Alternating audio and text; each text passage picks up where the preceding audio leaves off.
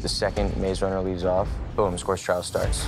I love working with Wes because he gets really excited when he's explaining things. He'll basically just kind of act out the whole scene, not even just your part, but the, the, the whole thing. I do think he's a genius. I do genuinely think that his mind works on a different level to all of us. Then he explains everything to you in a lot of detail. That tells me that he's excited to do this and he wants the best out of us. And so I want to give him my best. He, he comes up with drawings and animations and stuff of what things are going to look like when we're looking at them. It's good to have people that you care about around you, you know? So uh, we're going to continue that tradition and, and hope that it, it shows on film, essentially. I think it does. He has fun when he makes a film.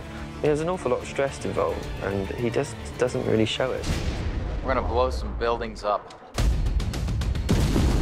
One, two, three.